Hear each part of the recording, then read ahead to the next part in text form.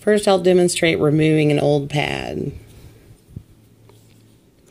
Just using my, my dental pick here. And I stick it in between, in this little hole here.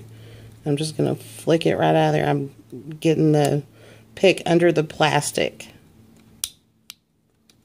And that's it. There's the old one. That one's not deteriorating so bad, so it didn't break. But right then, I'm going to set the new one in. I kind of get it, you'll see that this clear plastic part, the clear plastic part, not the capacitive side, goes down. And it's it's got to sit under these teeth in here. Right there. You can see that in the video. Right there.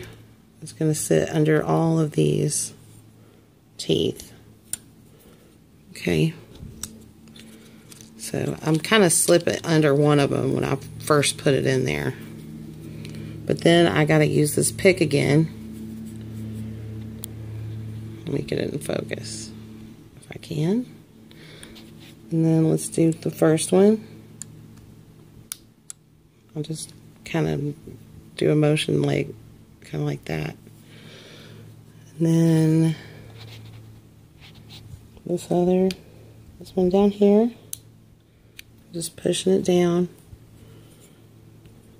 And that one may not, it probably is already under there.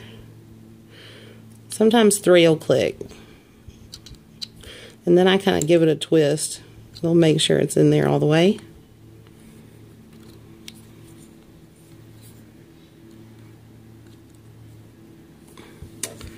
And I'm a little test, just lift up a little bit with the pick.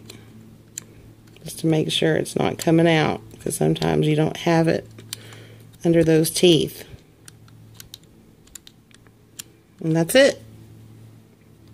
Be sure to put the board back on there and give it a little test after you get all the keys done.